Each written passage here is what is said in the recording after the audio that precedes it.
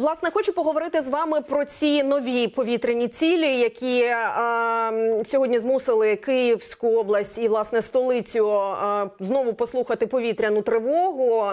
Пан Ігнат, речник протиповітряних сил, говорить про те, що це ну так звані дідівські методи. Росія почала застосовувати власне і запускає отакі собі повітряні кулі в небі над Україною. Що мається на меті? Вони хочуть виснажити наше ППО розвідати якісь цілі, чи ну що це за історія? Вони тепер просто через дефіцит ракет намагаються, хоч якось нас кошмарити. Не обов'язково, але ж функції сумарно ті, про які ви вже сказали. Тобто е, на ці повітряні кулі підвищується е, кутовий так званий відбивач радіаційної енергії, які е, випромінюють радари, зенітно-ракетний комплекс, ну будь-які те, що випромінюють. І після е, їх відображення і прийняття е, на відмітках екранів, і, е, наприклад, засобів радіотехнічних віз, ракетних комплексів і інших, можуть з'являтися відмітки від цілі, похожі на повітряні цілі. Таким чином їх можна приймати за такі. А для того, щоб е, їх виявляти, треба включатися. А більш того, якщо не розпізнати, що це куля, а на вкладі літальний апарат, який несе загрозу, то треба знищувати е, чи зенітно ракетними комплексами, чи е, піднімати винищені.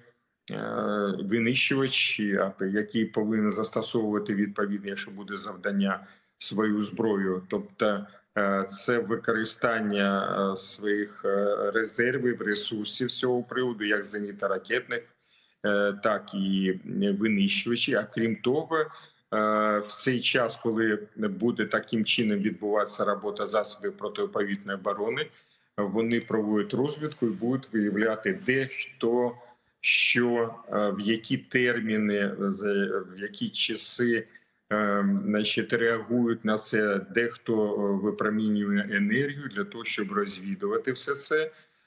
І потім використовувати яким чином виявляти, де і під час нанесення ударів обходити ці місця розташування засобів протиповітної оборони з одного боку, а з іншого боку, націлювати свої засоби враження Е, нанесені удара е, відповідні радіаційні на протирадіаційні засоби, які у росіян є, чи там дрони камікадзе, Вони у них теж такі засоби є.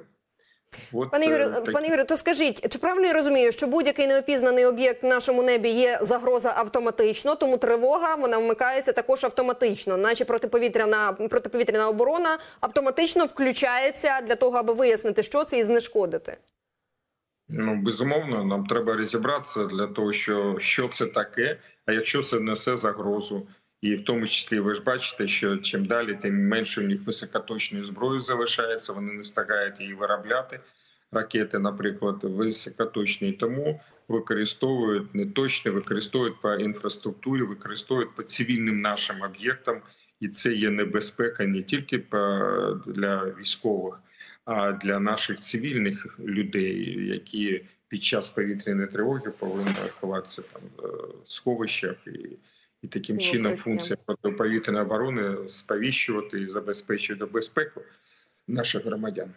Пане Ігорю, скажіть, ми власне спостерігаємо за результатами Рамштайну і вчорашнього першого дня, і сьогодні вже другого з обіцяного. Я зокрема побачила і додаткові сампті, додаткові батареї Петріот. Скажіть, наскільки це потужно закриє нам небо? Тому що ми бачимо вже як активніше ми набагато відбиваємо ракетні масовані атаки. Фактично, ну показники просто подекуди вражають. Ем, те додатково, що нам приїде, чи збільшить ще ці тенденції? Безумовно, ми будемо наращувати свої можливості е, з протиповітної оборони по аеродинамічним цілям. Е, для цього будуть ну і зараз поставляються і Еведжер американський, але комплекси близької дії, і хок американський, досить багато ракет у них такого, хоча він старий за часом, але він потрібен для знищення. І більша кількість німецьких гепардів, і АСТ, і Несамс.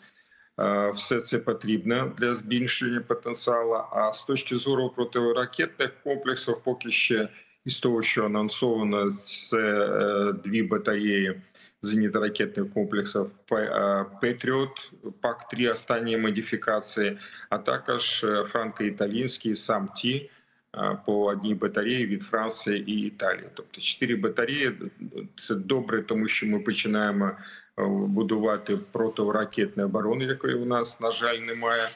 Е, Це дуже важливі спроможності. Крім того, ці зенітно-ракетні комплекси, наприклад, Петріот має і велику дальність дії, тому він може діяти і по аеродинамічним цілям на великій дальності. Це для нас теж важливо. Але по кількості е, безумовно чотири батареї, е, значить, ну недостатні для того, щоб суттєво підвищити ці е, наші спроможності, але треба починати. Це початок будови протиракетної оборони, а також кроки крок за кроком зміцнюємо свою протиповітну оборону. Не вистачає всьому додати винищувачів сучасних, за що е, якби бореться наше воєнно-політичне керівництво, наша воєнна дипломатія.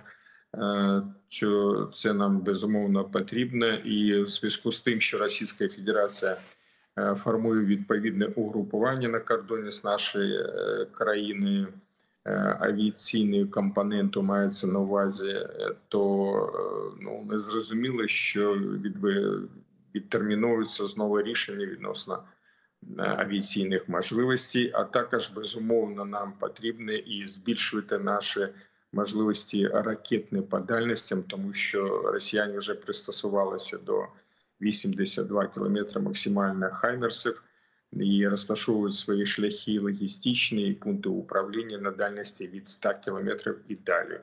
Нам ну, по- потрібні е, нові можливості з цього. Нам потрібні безумовно, але знаєте, коли принагідно згадати, мені здається, 6-7 місяців тому ми навіть ще й мріяти не могли про те, що система Петріот в принципі зможе бути е, поставлена в Україну. А так видається, що додаються все нові нові батареї. Я дуже сподіваюся, що така сама історія буде із винищувачем саме того типу, який нам потрібно. Ну і так само з далекобійними ракетами. Пане Ігоре, за браком часу хочу поговорити про те, що відбувається на лінії фронту. Безумовно, сьогодні з одним з найгарячіших напрямків є Донецький, зокрема Вугледар. Рашисти власне діють за тією ж тактикою, що десь в Бахмуті і в Солидарі фактично випалена земля, абсолютна майже повна руйнація. Що вони будуть там, що вони намагаються там окупувати? Ем, і як е, ви зокрема сьогодні маркуєте події в Вугледарі?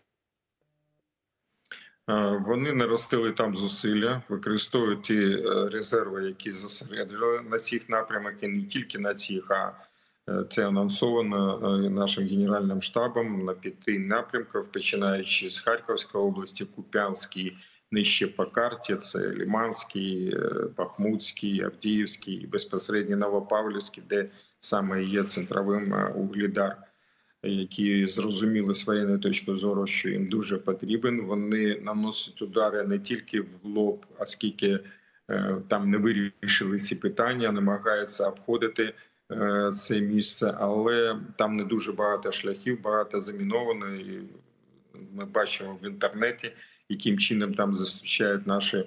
Оборонці е, знищують десятками одиниць бронетехніки, але противник не зупиняється, тому що в них є плани. Е, Якщо захопити Вугледар, а на півночі це Бахмут чи, наприклад, е, напрям Ліманський, Креміну, там вони просунулися з цих от п'яти напрям, мабуть, найбільш далі. Ну невелика відстань, там більше 10 кілометрів, але все ж.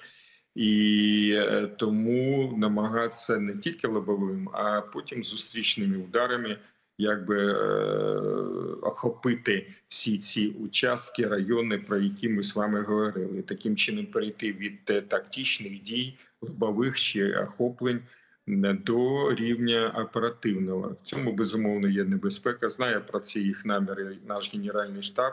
Тому ми руйнуємо їх такі плани, як на окремих участках, так і в цілому на рівні оперативного, які вони намагаються досягнути е, під час ведення наступальних дій е, в Донецькій і Луганській областях, і вже не тільки тому, що загострилася ситуація там і підвищилась інтенсивність дій в Запорізькій області, Васильівка, Орєхова, от в цих районах. Поговоримо безпосередньо ще і про запорізький напрямок, е, і про харківський. Там є про що. Але я ще буквально одне запитання: з числа кого складається те угрупування, яке працює на Вугледарі. Ми зовсім не так е, давно ем, добряче розтрощили 155-ту бригаду морпіхів там під Вугледаром. Хоча їх рештки все одно там продовжують залишатися на позиціях. Ну і зафіксована передислокація 40-ї окремої бригади морської піхоти. От ем, Діпстейт, зокрема, повідомляє, що зараз вони ведуть атаки на захід від міста Вугледар. Коли говорити про те, на чому робить акцент, е, зокрема на вугледарському напрямку, ворог, що можна відзначити, на кого вони роблять ставку? Тому що я так розумію, бійців приватної компанії Вагнер там немає, і все таки це е, регулярні війська. Ну, крім так званих елітних частин, е, 155-ї бригади морських піхотинців і 40-ї, про які ви говорили, там ще діють до п'яти мотострілецьких полків. Це кадрові, але ми знаємо на прикладі 155-ї бригади, що там уже втретє е, доповнюється е, склад, ду- дуже великі втрати. е, Значить, на різних етапах це було більше 50%. І вони безумовно поповнюються частково мобілізовані, як в великій кількості заводяться. Там це з цих 300 тисяч, які заводяться надалі на е, фронт на лінію зіткнення. Е, І крім того, вони ж е, готують свій стратегічний резерв на 150-200 тисяч на полігонах Російської Федерації і Білорусі. Що стосується Солідари, то бачите, в лоб не змогли, понесли великі трати, але не зупиняються і намагаються робити обходи, охвати цього місця, е, значить, з використанням і техніки. А в техніки там побили дуже багато одних танків за декілька десятків наші знищили, і інші бронетехніки, яка йде там на до сотні, якби ну це район не тільки Новопавлівський, а Мар'їнку, наприклад, сумісно. М. От такого рівня бої. Скажіть, пане Ігоре, власне, окупанти і посібники їхні колаборанти заявляють про те, що вони е, будуть повторно намагатися захопити деокуповані восени 22-го року населені пункти Харківської області. І я так розумію, що ситуація там також е, потребує певних коментарів. А, е, що можна сказати, тому що Харківщина вона межує з Російською Федерацією, і наскільки це означає, що логістичні да, ланцюжки в них ем, працюють активніше ніж деяких інш на деяких інших напрямках. Якою є ситуація на Харківщині, а, зокрема зараз? Я так розумію, що їх і Куп'янськ е, цікавить, там де залізниця. Безумовно, це Купінський напрям. А Вони зосереджили там відповідні сили.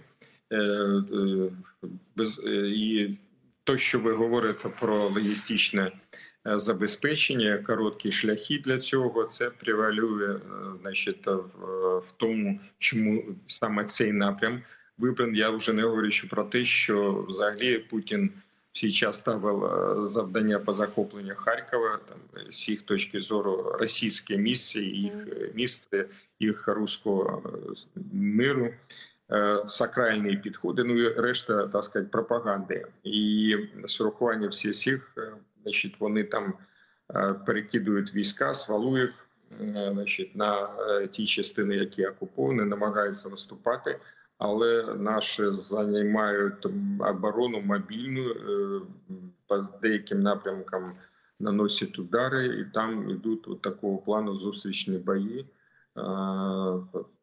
І цей напрям, як ми пам'ятаємо, був відсутній десь 10 діб тому. Було 4 напрями, але додався Харківський, і тепер вже і інтенсивність боїв е, нижче по мапі, де дійшло до Запорізького. Тобто протяжність е, лінії зіткнення розширюється. Противник намагається використати резерви, які накопичені. В першу чергу використовується жива сила, яка в них е, ну, є. Ну от якраз на запорізький напрямок кажуть, вони активніше перекидають вагнерівців, тих, хто залишився ще від Бахмута, тому що там ми теж їх добре покрошили. Безумовно, Е, це вагнерівці не ті, які були на початку війни, але ми ж бачимо, що Пригожин е, їх комплектує з е, осуджених, е, які не жалкують, гинуть всі там і авторитети ці.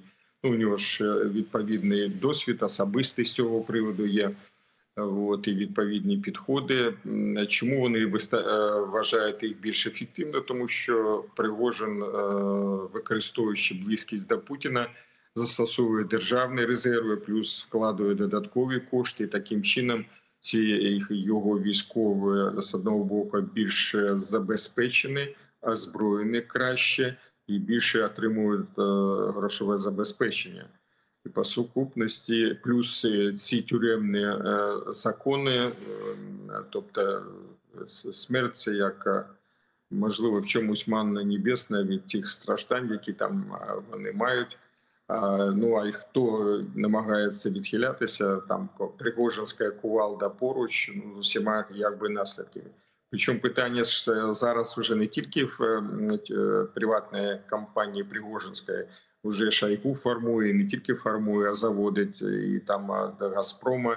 Відповідна приватна компанія, е, якщо це можна назвати її тому що е, державне йде забезпечення, плюс додаються фінанси того, хто їх е, формує. Тобто вони починають застосовувати, а по великому рахунку це якби державницький підхід, так квазі в лапках.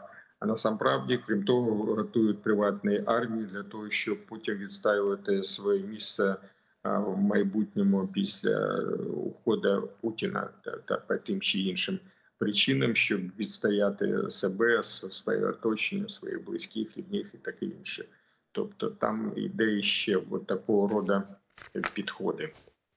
Пане Ігорю, спасибі вам велике, що доєдналися. Раді бачити вас в етері Апостроф ТІВІ. Ще раз нагадаю, до нас долучався Ігор Романенко, заступник благодійного фонду за Криму Небо України, екс-заступник начальника Генерального штабу збройних сил України, генерал-лейтенант. Спасибі.